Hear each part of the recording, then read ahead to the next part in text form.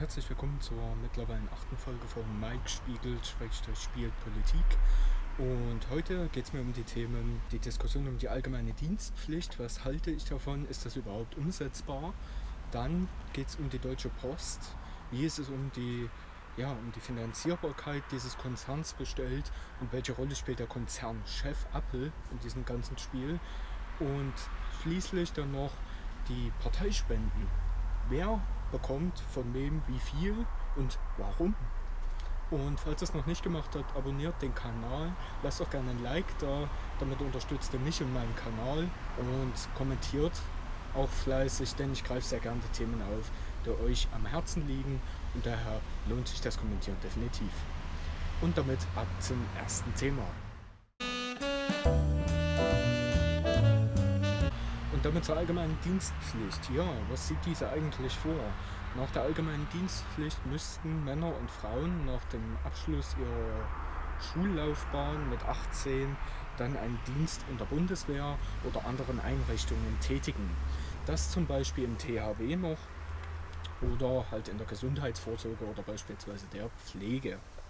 Der Grund hierfür ist, dass mehrere CDU-Bundestagsabgeordnete sich für die Wiedereinführung der Wehrpflicht eingesetzt haben, die ja 2011 aus Kostengründen abgeschafft wurde.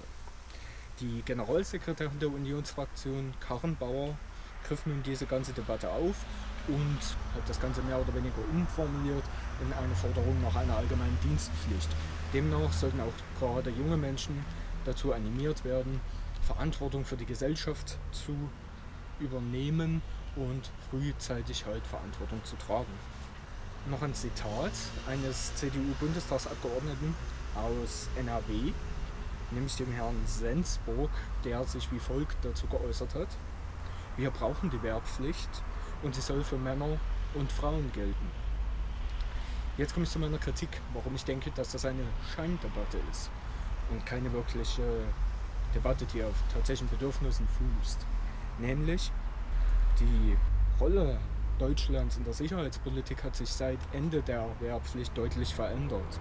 Dort ist nämlich aufgrund dessen, dass die Wehrpflicht ausgesetzt wurde, ganz neue sicherheitspolitische Herausforderungen angetreten. Es geht nicht mehr um die Konfrontation zwischen Staaten primär, sondern innerhalb eines Staates durch auch paramilitärische Gruppen und terroristische Vereinigungen. Zudem ist dieses Vorhaben auch in der Union selbst umstritten. Der verteidigungspolitische Sprecher Otto sagte zum Beispiel, das Ganze würde den politischen Herausforderungen der heutigen Zeit gar nicht mehr gerecht. Zudem ein wesentlicher Punkt, der gegen diese allgemeine Dienstpflicht spricht, ist, es ist nicht mit dem Grundgesetz vereinbar. Die Wehrpflicht als solches ist im Grundgesetz verankert, beziehungsweise auch die Möglichkeit, stattdessen einen Sozialdienst zu leisten. Eine allgemeine Dienstpflicht hätte allerdings den Zwang zur Folge, der nicht im Grundgesetz verankert wäre. Das heißt, es wäre verfassungswidrig und könnte nur umgesetzt werden, wenn tatsächlich das Grundgesetz geändert würde. Dafür bedürfte es allerdings eine Zweidrittelmehrheit, die derzeit im Bundestag nicht absehbar ist. Zudem auch ein wesentlicher Kritikpunkt, wie ich finde, könnten diese Dienstler gerade im Gesundheitsbereich und in der Pflege dafür sorgen, dass die notwendige Debatte um die bessere Bezahlung und die bessere Personalsituation in der Pflege ausgelagert wird. Was will ich damit sagen? Vor allem dahingehend, dass diese Dienstler natürlich wesentlich günstiger sind, als wenn ich jetzt fest angestellt Fachkräfte einsetze. Und das ist in meinen Augen wirklich kritikwürdig, weil man sich so der aktuellen Herausforderungen entzieht und man quasi von hinten versucht, ähm, eigene Verfehlungen dadurch zu vertuschen, dass man ja über die allgemeine Wehrpflicht diskutiert. Davon lenkt man dann ein bisschen ab, dass die Union nicht ganz unschuldig ist an den aktuellen Verfehlungen in der Pflege. Aber was denkt ihr dazu? Meint ihr, das ist gerechtfertigt, die allgemeine Dienstpflicht muss kommen? Oder sagt ihr eher, naja, die Bundeswehr ist heute so spezialisiert in einzelnen Bereichen, gerade IT, Cybercrime, dass äh, da eine allgemeine Pflicht gar nichts mehr bringen würde. Zudem gibt es ja die verschiedenen Dienste, gerade das ökologische Jahr, das soziale Jahr und so weiter. Und das Ganze lenkt letztlich von den Verfehlungen der Pflege ab. Schreibt es in die Kommentare und ich bin gespannt, was ihr dazu anzumerken habt und freue mich auf eure Anregungen. Zum zweiten Thema und damit zur Deutschen Post. Die Deutsche Post hat im zweiten Quartal dieses Jahres einen Verdienst von in Anführungszeichen nur 516 Millionen Euro aufzuweisen. Das ist trotzdem ein Umsatzplus von 1,4 Prozent und allerdings ein Verlust des Gewinns von 11 Prozent auf 747 Millionen Euro.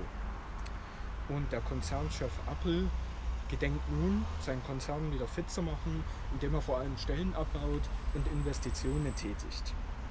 Aber, und jetzt komme ich zu meiner großen Kritik an dem ganzen Vorhaben, es wurden allein im zweiten Quartal 2018 51 Millionen Euro für Vorruhestandsregelungen in dem Konzern ausgegeben die sich gewiss, denke ich mal, nicht jeder leisten kann, sondern dass das vordergründig die oberste Riege betrifft, die sich das entsprechend auch leisten kann, vorzeitig in Ruhestand zu gehen. Der Konzernchef Apple darüber hinaus, und das ist keine von mir erfundene Zahl, sondern das fußt auf einem Bericht der Hans-Böckler-Stiftung und die kommt im Jahr 2018 zu dem Schluss, dass Apple 232 Mal so viel verdient. Das ist wirklich heftig, muss man sich mal überlegen, was das heißt. 232 Mal so viel wie der durchschnittliche Angestellte bei der Post. Und jetzt könnte man denken, okay, der Umsatz geht zurück, er selber nimmt sich entsprechend auch ein bisschen zurück. Und die Aktionäre kriegen halt weniger Boni. Das ist aber auf keinen Fall so. Sondern die Aktionäre bekommen weiter ihre Boni, die Vorstandsriege äh, bekommt eher noch ein Plus und die einfachen Angestellten in Anführungszeichen, die müssen dann dafür bluten. Und ja, das halte ich gerade diese Differenz absolut nicht gerechtfertigt, vor allem im Hinblick auf die Argumente, die häufig da gebracht werden, höhere Verantwortung, größere Kompetenzen. Natürlich muss man berücksichtigen, dass der Herr Apple nicht äh, aus gut Glück an diesen Post gekommen ist und dass da natürlich ein Stück Verantwortung dran hängt. Man darf allerdings nicht vergessen, dass er auch die Verantwortung dafür trägt, ähm, dass wenn auch was schief läuft, die Leute natürlich in erster Linie an ihn herantreten, um ähm, Besserungen zu verlangen. Und wie gesagt, ich finde, er selber sollte sich mal beschneiden. Das stellt in keinem Verhältnis mehr zu der Verantwortung, zu irgendwelchen Gründen, die da im Raum stehen. Ich halte das Ganze für nicht angemessen und ja, würde mal gerne eure Meinung wissen. Was haltet ihr davon? Haltet ihr das Ganze für zukunftsfähig? Müsste da der Bund als Anteilseigner an der Deutschen Post viel stärker intervenieren und sagen, hey, also irgendwo müssen wir die Managergehälter mal deckeln, was ja ursprünglich auch mal geplant war, aber nicht weiter verfolgt wurde? Oder sagt ihr, naja, das ist halt nun mal so, es gibt konjunkturelle Aufschwungphasen, es gibt wieder rezessive Phasen und deswegen kann man sagen, ja gut, das gehört dann irgendwo dazu. Lasst es mich wissen, schreibt es in die Kommentare und ich bin sehr gespannt auf eure Anmerkungen dazu. Zum letzten Thema und damit zur Parteifinanzierung respektive den Parteispenden und der Frage nach möglichen Gegenleistungen. Die Grundlage hierfür und auch für die Grafiken, die ich euch einblende, sind erstmal die ersten sieben Monate dieses Jahres, aber dann später auch die Zahlen zu den Informationen äh, aus den Jahren 2016 und 2017. Für diejenigen, die es interessiert, ich habe das Ganze in der Videobeschreibung verlinkt, könnt ihr euch also gerne nochmal zu Gemüte führen, sind auf den Seiten des Deutschen Bundestages einzusehen. Die Union hat dieses Jahr bis dato am meisten profitiert. Er hat nämlich Spenden in Höhe von rund 710.000 Euro erhalten und das Ganze aus sieben Spenden mit mindestens 50.000 Euro. Die SPD kommt auf eine Spendensumme von 200.000 Euro, die sich aus zwei Spenden zusammensetzt. Der SSB, das ist für diejenigen, die es nicht wissen, eine Minderheitenpartei, der Südschleswische Wählerverband, der nur in Schleswig-Holstein antritt und auch von der 5%-Hürde ausgenommen ist, der hat durch drei Spenden 355.000 Euro verbuchen können. Die DKP, also die Deutsche Kommunistische Partei, hat durch eine einzige Spende 352.000 Euro bekommen. FDP, Grüne, Linke und der AfD hatten keine Spenden, die zumindest über 50.000 Euro liegen. Warum reiht sich so auf 50.000 Euro rum?